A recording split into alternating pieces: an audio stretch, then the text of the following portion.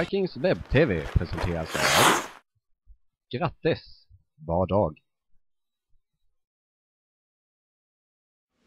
Nybro Vikings eh, vinner med 2-1 över Bor Borås hemma ikväll. Två mål utav Emil Mårtensson. Grattis får jag säga. Ja, tack så mycket. Eh, kan du beskriva målen lite? Ja, första var väl egentligen lite tur. Alltså, vi tar ett avslut lite tidigare där i powerplay som missar mål helt och så går han i runden. Kommer vi in snabbt i zon igen och så mycket folk framför mål och får dit pucken. Så det. Jag såg inte att han gick in först heller, så det var ju skönt. Yes, kan du beskriva matchbilden lite idag? Jag tyckte vi dominerade i första perioden och då kändes det riktigt bra. Sen vet jag inte om vi fick lite skalle inför andra perioden och vi gick ut och var lite lat men... Och, ja vad ska man säga? Jag vet inte. Vi tappade spelet helt, eller inte helt tyckte jag. Vi försvarade oss fortfarande bra men anfallsspelet tappade vi.